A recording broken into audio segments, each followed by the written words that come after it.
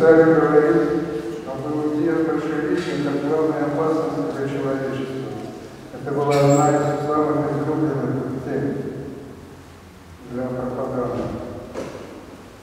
Конечно, то, что произошло, тогда было своего рода проекцией на установление иго святейшего паче всякого иного, как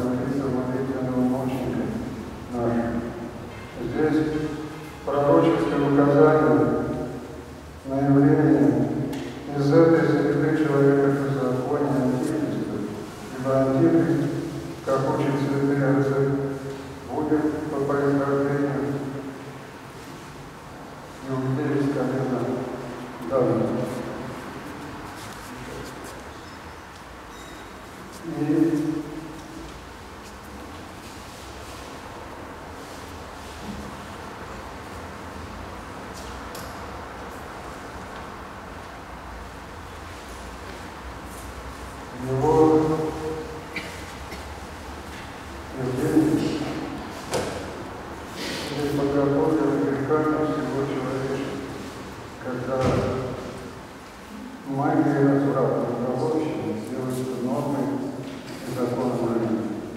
Мы далеки от мысли, что даже осуждать какой-либо народ за его национальность. В конце концов, сам Христос был по, вышел по плоти этого народа. Его апостолы делали наши мученики были делали национальность.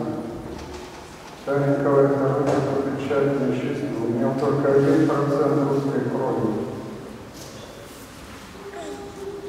Заметим, это одно из ярких доказательств того, что власть православного монаха есть просто национальная традиция русского народа, а благодарное установление Бога. Вспоминается рассказ из тех времен, когда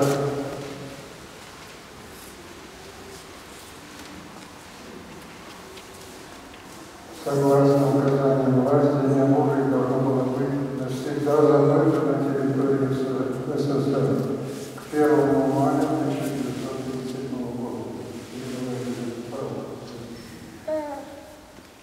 Одна девочка, первоклассница, по секрету показала своей подруге лист, вырванный с художественного альбома с изображением Христа. Кто это? Спросила ее подруга. Он чисто русский. Ответила та с непоколебимой убежденностью. В этом наивном утверждении была глубокая истина.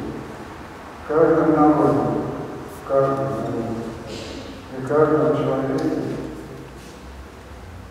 подлинно только то, что принадлежит Христу. Царство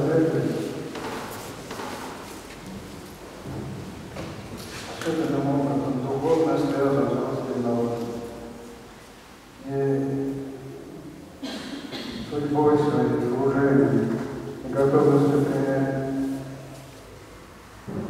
на себя жертву за спасение России. Он это совершил. И мы молимся Ему, говоря, ясным счетом, потому что грех самоубийства сыграл главную роль последующих событий 20 века для русской церкви, для всего мира. Перед нами стоит только один вопрос. Есть ли искупление этого греха каким образом оно может быть осуществлено? Церковь всегда призывает нас к покаянию. Это значит к осознанию того, что произошло. И какое это имеет продолжение в сегодняшней жизни.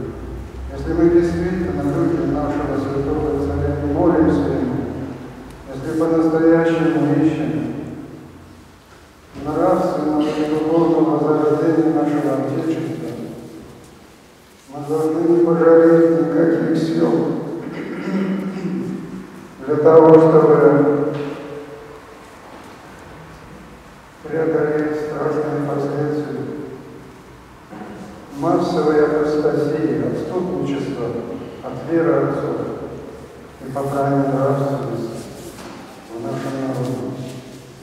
Есть только два варианта того, что ожидает Россия. Либо чудо, заступничество, царственность, достотепство всех новых мучеников церкви Господь дарует нашему народу возрождение ради спасения многих. Но это произойдет только при нашем участии. Вопреки естественной немощи, греховности, бессилия и малодушия.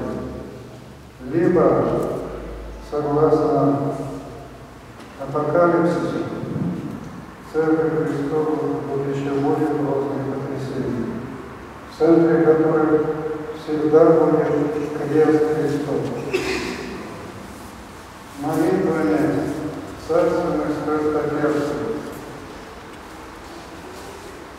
возглавляющих сонного мученика и исповедника в церкви, да будет дано